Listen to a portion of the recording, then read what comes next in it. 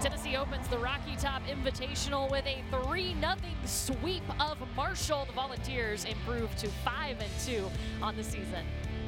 Welcome back inside Thompson-Boling Arena. Courtney Lyle alongside former Tennessee middle Heather Harrington and Heather, those first two sets looked a lot different than the third set for Tennessee. They really did. Tennessee got off to a very fast start, and then it looked like in third the third set they just stumbled a little bit. They lost their focus, got a little sloppy, and Marshall had a little spark, and then that spark caught fire. So Tennessee gonna have to work on finishing, I think, over the next couple of matches. Something that was really big though for Tennessee throughout this match was their blocking. Erica Schreiber starting in the middle with six blocks of her own. Six blocks of her own to equate for the team's total eight blocks.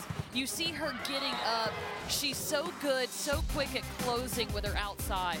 Kendra Turner was on fire offensively, 12 kills. She hit 409 as an outside. As an outside on 22 attempts. I mean, th those kills were incredible. That's a, a hitting percentage that you usually see only reserved for middle blockers. So very nice job by Kendra Turner. Marshall made the third set very interesting. Tennessee was able to pull out the win 26 to 24 in that third set to get the sweep. Sedona Hanson with 12 assists and 8 digs, just a couple of digs shy of that double-double. But a good win for Tennessee. Conference play on the horizon. They will open SEC play with Arkansas on Wednesday. But for this Friday night, it's a win for the Volunteers, 3-0 over Marshall.